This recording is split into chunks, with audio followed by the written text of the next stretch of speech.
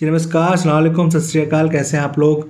तो हाल ही में मैंने एक पोल करवाया फेसबुक पे भी इंस्टाग्राम पे भी, शायद आपने देखा हो कि कितने लोगों को कंसल्टेशन चार्जेस कितने डेंटल ट्रीटमेंट जो करते हैं, जो डेंटिस्ट हैं, जो डेंटल प्रैक्टिशनर्स हैं, उनको कितने लोगों को ऐसा लगता है कि उन तक उनके डिजर्विंग कंसल्टेशन चार्जेस नहीं पहुँच पाते? लोग बाहर से ही बातचीत करके चले जाते हैं एंड नॉट सरप्राइजिंगली जो मुझे लग ही रहा था होगा अबव 95 परसेंट लोगों ने बोला कि उनके साथ ये बहुत ज़्यादा होता है और हाल ही में भी हुआ है। सो आई थॉट कि लेट्स मेक ए वीडियो जिसमें मैं अपनी गलतियाँ जो मैंने की, जिनकी वजह से मुझे काफ़ी नुकसान हुए, वो आपको बता सकूँ ताकि आप उनको एज ए लेसन ले सकें और पॉजिटिवली इस गलती को करने से रुक सकें। तो पाँच लेसन्स सिंपल लेसन्स अगर वो आप स्टार्ट ऑफ़ द प्रैक्टिस और अभी भी प्रैक्टिस में अपने अप्लाई करते हैं तो these important charges will be in your pocket. And i'll tell you in the last why these are so important. So, first mistake is that we don't keep it very much visible. बिल्कुल भी नहीं दिख रहा होता patient को कि consultation charges अलग से लिए जाएँगे। अपने वेटिंग एरिया में, अपने कंसल्टेशन एरिया में क्लियरली एक बोर्ड रखिए जिस पे क्लियरली विजिबल हो कि these are my consultation charges for example मेरे यहाँ लिखा हुआ है कि consultation charges are this and x-ray charges are this और अगर आपको लगता है फिर भी लोग नहीं समझ रहे तो अपनी रीजनल लैंग्वेज में, पंजाबी है, उर्दू है, हिंदी है, जो भी बोली जाती है आपके स्टेट में, उसको लिखिए और उसके अंदर क्लियर लिखिए कि these are the consultation charges और ये अलग हैं ट्रीटमेंट चार्जेस से राइट फ़र्स्ट थिंग तो keep it visible second thing अपने असिस्टेंट को या रिसेप्शनिस्ट को, क्योंकि हमारा क्लिनिक इस लेवल पे स्टार्ट होता है जिसमें रिसेप्शनिस्ट और असिस्टेंट बहुत ट्रेंड नहीं होते राइट तो छोटे क्लिनिक्स होते हैं तो रिसेप्शन रिसेप्शनिस्ट और असिस्टेंट ऑलमोस्ट सेम ही होते हैं।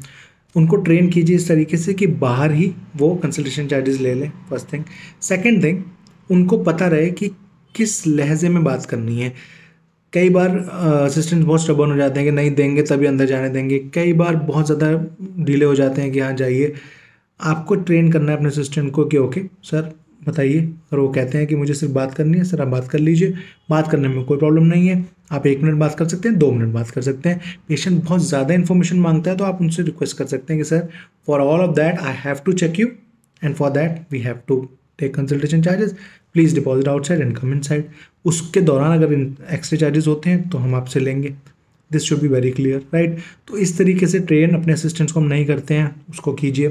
Third thing do not and i repeat this is very important. Do not start your practice with free consultations this, this is what i did and i'm still still उन चीज़ को मैं अभी तक भर रहा हूँ। क्यों?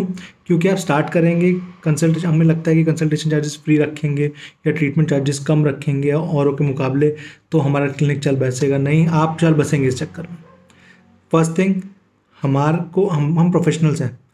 हमें फैमिली डॉक्टर्स क्यों कहा जाता है? डॉक्टर्स को फैमिली आपने सुना है कि family see a family engineer family architect नहीं फैमिली डॉक्टर्स होते हैं। आपके पास फैमिली टू फैमिली आएँगी। आपने एक फैमिली मेंबर को ये बोल दिया कि ओके सर आपके चार्जेस नहीं है कंसल्टेशन तो उसकी फैमिली में जितने लोग जब भी आएँगे और जितने लोगों को वो रेफ़र करेंगे, सब आपसे ये एक्सपेक्ट करेंगे।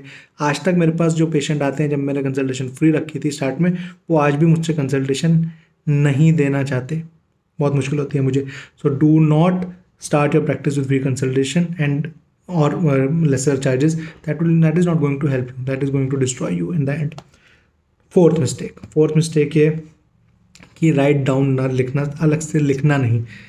आपने प्रिस्क्रिप्शन बना दिया आपने प्रिस्क्रिप्शन को पलटा उसके बाद आपको लिखना है कि consultation charges are this and extra charges are this and this is your total you have to write it down by क्योंकि कई बार पेशेंट उसी समय ट्रीटमेंट चार्जेस करना पूछना चाहता है, कराना चाहता है उसी टाइम ट्रीटमेंट आप अलग से नहीं लिखेंगे तो उसको लगेगा कि वो उसी के अंदर है। आपको लिख के रखना है कि these are the treatment charges these are the consultation charges why क्योंकि कई बार पेशेंट सेकेंड थाट दिमाग में लाता है कि अरे, इससे अच्छा तो कहीं और करा लेंगे। और उस टाइम अगर आपने लिखा नहीं और पेशेंट चला गया तो वो हो सकता है वापस ना आए। ऐसा होता है, हम सबके साथ होता है। So write it down at that point itself और उस टाइम पे पेशेंट कई बार पांचवी मिस्टेक इसी चीज़ से रिलेटेड है। कई बार पेशेंट ये भी कहता है सर ट्रीटमेंट तो करा ही। रहे तो मर्ज कर लेंगे, एक साथ दे देंगे बाद में। Do not merge your consultation charges with treatment charges please politely बोलिए कि, सर कंसल्टेशन चार्जेस आप अभी दे दीजिए। ट्रीटमेंट चार्जेस तो हम जब ट्रीटमेंट शुरू करेंगे तभी लेंगे आपसे। So do not worry about it क्यों? क्योंकि मैं ये नहीं कह रहा कि हर पेशेंट रिसीव करता है आपको बट कई बार पेशेंट्स सेकेंड थाट अपने दिमाग में लाते हैं, वो आपको बोल के जाते हैं कि हम आएँगे। और कंसल्टेशन चार्जेस और एक्स्ट्रा चार्जेस आपके चले गए साथ में और पेशेंट वापस नहीं आएगा, आपका कॉल नहीं उठाएगा और in of that you know we have all have handle this so please make sure कि ये पाँच लेसन्स आप मुझसे लें, जो पाँच मिनट के अंदर मैंने आपको बता दिए हैं। तो पाँच मिनट के अंदर सब कुछ क्लियर है। I hope you will learn from this anything else you want to ask, anything else you want, you have any doubt related to dentistry specifically, dental practice or life, we can always talk. You know my number 9873351158 i hope you know my name. Humbly speaking dr sagar chaudhary. Thank you so much guys. Love you all